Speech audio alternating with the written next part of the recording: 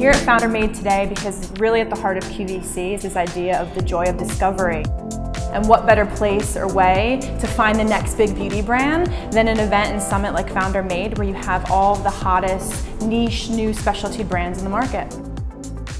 This is an amazing network. It's not just about competition, it's about working together.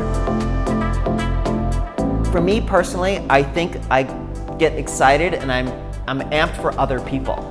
Me being here, if I can be a nugget of inspiration for anyone, is my highlight both FounderMade and us both um, are passionate about innovation and passionate about entrepreneurship and passionate about community and helping each other through those bumpy roads and all of the success and providing a network of other entrepreneurs in which to speak to. I'm Dr. Howard Murad. I'm founder of Murad. I'm Bobbi Brown. My name is Nikki Eslami and I'm the founder of Bellami Hair. My name is Allison Collins. I'm the beauty financial editor at Women's Wear Daily. My name is Kara McGrath. I am the deputy editor of fashion and beauty for bustle.com.